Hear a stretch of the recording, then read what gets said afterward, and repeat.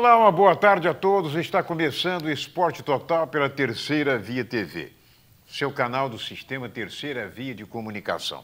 Você que não é assinante de TV a cabo, você pode acompanhar por www.terceiraviatv.com.br em tempo real, via internet, é claro. Bom, minha gente, seleção brasileira jogou ontem, se classificou, está aí já nas quartas de final né, correspondendo à expectativa. Como sempre, há pessoas aí que ficam é, sempre dizendo, não, por quê? Porque não está correspondendo, não é aqui, não está jogando o que dela se espera, porque não vai chegar às semifinais, mas o Brasil está chegando aos poucos. Né? Também não estamos, estamos vendo aí grandes, grandes equipes que se destacam, as grandes favoritas antes da Copa, como a Espanha, né, a própria Argentina, são equipes que já foram que já eram. Né? Agora, hoje à tarde, joga a Inglaterra. Vamos ver o que a Inglaterra vai fazer. É também uma expectativa muito grande né, com relação à Inglaterra. A Bélgica, próximo adversário do Brasil, teve uma vitória sensacional ontem num jogo, um dos melhores jogos da Copa. Né? Foi o jogo de ontem, entre a Bélgica e a equipe do Japão. Eu assisti o jogo até 2 a 0 para o Japão, falei, fatura liquidada. Lê do engano. Né? A equipe da Bélgica foi para cima, virou, e quando eu, eu, estava na rua, quando eu cheguei em casa, a secretária falou: Olha, a Bélgica é o próximo adversário do Brasil. Eu falei: Como? É, virou 3 a 2 já nos acréscimos. Quer dizer, é uma seleção inteligente, uma, uma seleção muito bem treinada, técnica, e conseguiu superar o Japão ganhando de virada. O Japão, por sua vez, mostrou que é uma equipe um pouco inocente, porque é uma equipe que está vencendo por 2 a 0, ao invés de valorizar a posse de bola, recuar, não. É, continuou atacando, buscando talvez até o terceiro gol e acabou sim levando três gols. Mas tá bom, vamos ver agora, é sexta-feira desta semana, Brasil e Bélgica.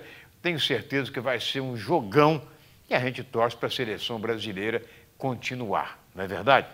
Muito bem. Vamos falar um pouco dos clubes do Rio de Janeiro. Os clubes estão se movimentando daqui a pouco mais aí de, é, vamos dizer aí, de talvez 15 dias ou menos, termina a Copa do Mundo e vamos voltar então na mesma semana o Campeonato Brasileiro da Série A vai ser reiniciado.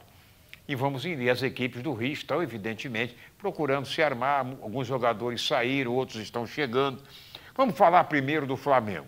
O Flamengo treinou ontem. Treinou ontem no Ninho do Urubu, foi em campo, em campo reduzido e contou com a volta do Guerreiro. Né? Guerreiro que disputou a Copa do Mundo pelo Peru, muita gente dizendo que ele não ia voltar, mas outras, muita gente dizendo também que ele não vai renovar com o Flamengo. Mas isso aí são outros 500. Ele tem um contrato a cumprir com o Flamengo e deve permanecer no Flamengo pelo menos até o final do contrato.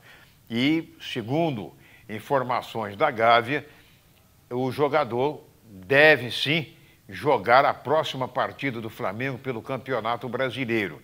Treinou normalmente, se exercitou, vocês estão vendo aí imagens do treinamento do Flamengo. Né? O, o, treino foi o, também o Jonas, que disse, ah, porque o Jonas sai e tal, o Jonas também participou do treinamento né, da equipe rubro-negra. Agora nós vamos ver o seguinte, vamos ver o que o técnico Maurício Barbieri, agora não é mais interino, não se pode mais falar interino, é o técnico do Flamengo, assinou o contrato e ele fala da sua responsabilidade em treinar a equipe do Flamengo né, e, diz, e diz ele que o apoio da torcida será fundamental. Na tela. Eu acho que é um momento muito especial na minha carreira, sem dúvida nenhuma é o maior desafio. Eu acho que poder assumir com esse apoio da torcida é um incentivo a mais, né? Me sinto muito lisonjeado e privilegiado por estar podendo ter essa oportunidade com esse apoio todo. Mas como você frisou bem, é, na prática do dia a dia as coisas vão se alterar pouco né, em relação ao que a gente vinha fazendo. É, é um passo importante, mas não é um passo definitivo, né? Então, o objetivo maior é continuar seguindo trabalhando, se dedicando é, o máximo possível para que possa contribuir para que o clube possa alcançar as conquistas que são tão importantes.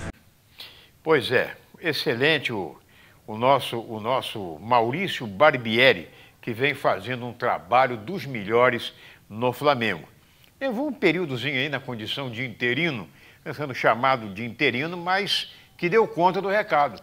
Interagiu muito bem com os jogadores, tem um, criou um clima muito bom né, entre o, o, no elenco do Flamengo e vai, vai contar, sim, vai contar com, com a ausência de Vinícius Júnior, né, com a ausência de Felipe Viseu também, e possivelmente ainda não está com Lucas Paquetá. Mas por enquanto, nada está certo quanto à saída do Lucas Paquetá. Não é verdade?